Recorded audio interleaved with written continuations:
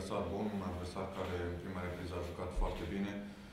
Știam de calitățile lor, știam că este o echipă grea a campionatului și în prima repriză s-a văzut uh, un plus de calitate pentru ei, dar în repriza a doua am reușit să întoarcem jocul și până la urmă cred că victoria este meritată. Ați avut și șansa golului 3 în, în diferite rânduri. Ce a fost puțin oposit în momentul finalizării. Cam asta a fost. Da, efortul a fost uh, destul de mare.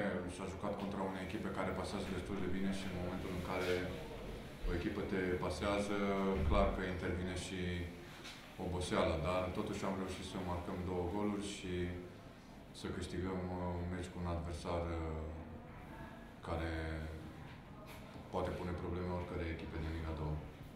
Deci, cu patru juniori, deși puțin probleme de efectiv sau pur și simplu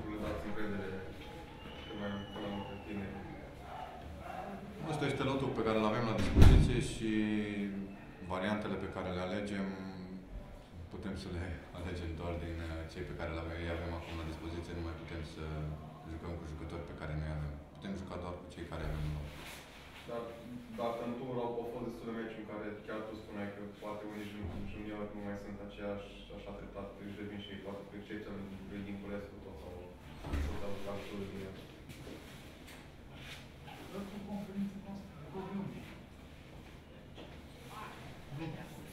Da, Tănase a făcut astăzi un meci, un meci bun, un meci în care a revenit la forma lui care l-a propulsat la prima echipă. Albert s-a implicat și el foarte mult și s-a dăruit. Uh, Rafael Iuga îl știm, un jucător care pe fază defensivă își, își face datoria. David Popa și Cudin Culescu au intrat cu probleme, cu probleme de accidentare și s-a și văzut acest lucru. La pauză au fost schimbați tocmai din acest motiv pentru că au, au resimțit dureri în uh, zonele unde aveau probleme. Era 0-1 și penalti pentru astăzi. Ce v-ați spus pe bancă în momentul când la ce vedeți? Cu siguranță a fost un uh, moment foarte important al meciului și un moment în care dacă a fumat și marca, probabil jocul avea o altă desfășurare. Sincer, am crezut în Robert. Am crezut că poate să apere. Um, Robert și cu Boia sunt doi jucători pe care eu i-am adus aici la echipă și în care am avut încredere. Mă bucur că amândoi confirmă și sperăm să, să, să joace bine în continuare și să ajute această echipă. Crezi că s-a deblocat echipa după victoria Cu siguranță este un uh, moment bun, dar încă încă mai avem multe de, de îmbunătățit, încă mai sunt multe lucruri la care uh, trebuie să lucrăm și să devenim mai buni, pentru că totuși poziția din clasament uh, nu este una care să onoreze numele UTE și plus că uh, ne dorim să, să progresăm și să urcăm cât mai mult în clasament. Nu s-a mai întâmplat în acest sezon să nu pierdă de 10 meciuri oficiale. E o întâmplare că sunt exact cele 3 meciuri în care a venit Timus Papaie. Nu e o întâmplare. Popică cu siguranță are o experiență și știe să gestioneze grupul și echipa. S-au schimbat, uh, s-au schimbat uh, câteva lucruri uh, și la nivel motivațional și asta mm, nu poate fi numai în folosul jucătorilor și în folosul echipei. Fanii că toți nu sunt împăcați. Chiar dacă rezultatele vin, echipa face puncte, să zic, e un obiectiv deasupra linii, cum destul de bine.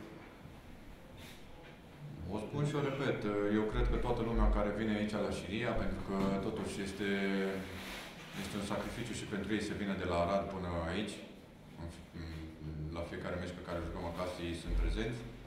Deci ei fac un sacrificiu să vină la meciuri, este duminică, ei vin și uh, vor ca să, să vadă, în primul rând, echipa că joacă fotbal și vor ca să fie alături de echipă. Deci am spus-o și repet, cred că toți care suntem aici implicați vor binele echipei.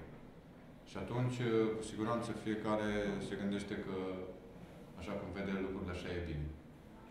Fiindcă nu, la nu să ne mai întâlnim, așa două cuvinte despre întâlnirea cu Laurențiu Roșu, Da, un meci, uh, un meci greu cu Laurențiu,